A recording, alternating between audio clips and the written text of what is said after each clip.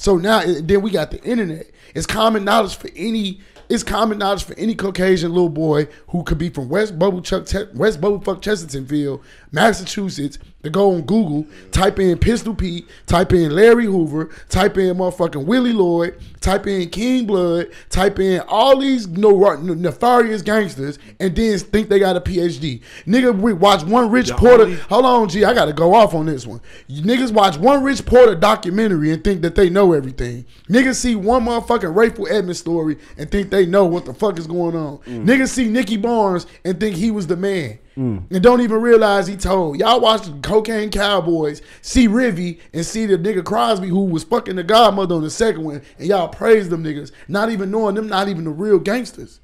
But because it's general public and being put out there, that's what is that's what's given. Now it's just the black, it's just the black culture time. It's just it's transitioning. Now I'm telling you, within the next four, five years, y'all gonna see the Larry Hoover movie. Y'all gonna see the Willie Lloyd movie. Y'all gonna see the real Rich and Alpo Alpo movie. Y'all gonna start seeing real adaptations of the gangster stories we heard as kids and the boogeyman stories. You're starting to see the documentaries now about YBI out of Detroit. You're starting to learn about Butch Jones. You starting to learn about Willie Lloyd and the Vice Lords out of Chicago. You starting to learn about you you to learn about KSO from Philly, the Kaboni Savage organization. You're starting to learn about these these drug dealing crews and organizations now. You're starting to learn about Waterhead Bo out of Cali and Melvin Butler, who was supplying and moving the bricks from the Medellin cartel in the 80s to the East Coast in DC, who was the first crip out doing business in DC with Rayful Edmonds. You learn these things because it's out there now. But you really don't know the nooks and crannies of these things because a lot of you aren't a part of this culture. So, with that being said, the way I feel about it is it's out there. It's known facts, but it's like for you to really know the names, how I can roll them off, like Fat Cat, Pappy Mason, Queens, all that, that comes from me being just a part of the culture. So we're just stuck in the era now where all the ghetto secrets that we heard as kids, the ghetto stories, the boogeyman stories about Chester, Chester White, Chester Campbell, the most notorious hitman from Detroit, had a hundred bodies and was hired by the FBI, all types of shit. You're just starting to hear the spook stories for real now.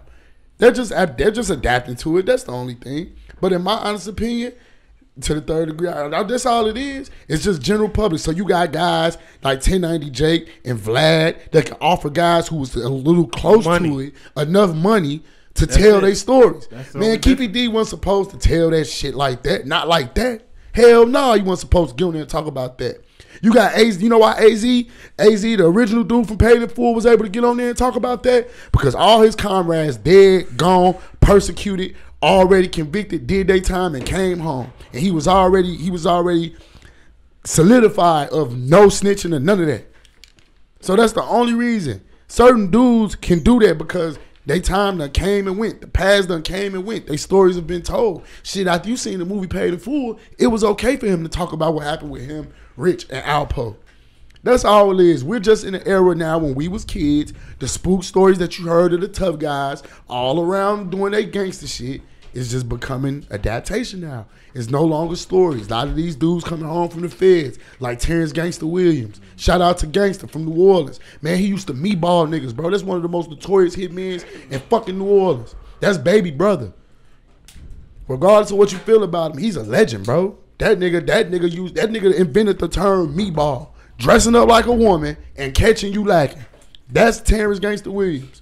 They think because he old now, sit on a podcast and did he damn near did half his life and some in the federal penitentiary. So that's all. A lot of them dudes coming home. Yeah, he was known in my city. He got so many bodies. He told though. He did tell.